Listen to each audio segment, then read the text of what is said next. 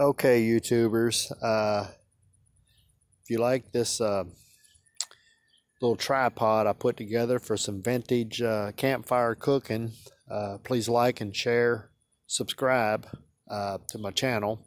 It'd be greatly appreciated. But let me show you what I did. I got uh, three pieces of pipe, and all of them's like five foot long. I had them laying around, but you can go to Home Depot and uh, get some conduit, some or some uh, black iron pipe and uh, but let me show you what I did here. I uh, welded this little hook up here. That's to hang the um, uh, the pot from but let me show you what I did here. The uh, the pipe my finger out. See how I, I cut that out I drilled that out put a into my milling machine and, and slotted the, but you can do it with drill bits. You can just drill holes out and make slots in it and I'll show you why.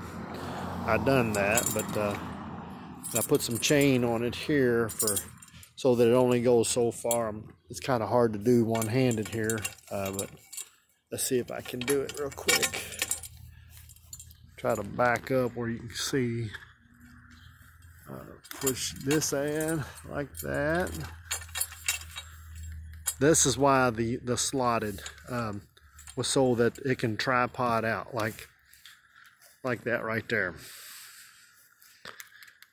Just like that.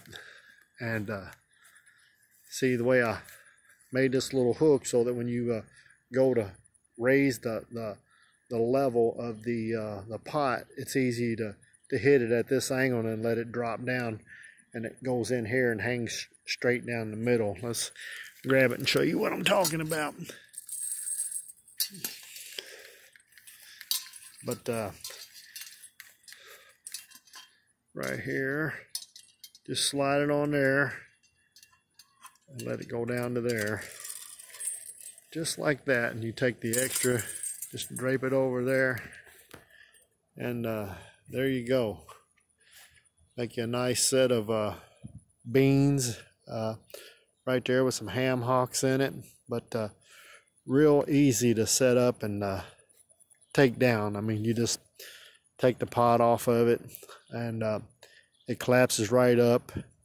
But this chain I put on here, welded on there, that keeps it where that it can't, you know, go all the way out both ways and, and collapse down. So,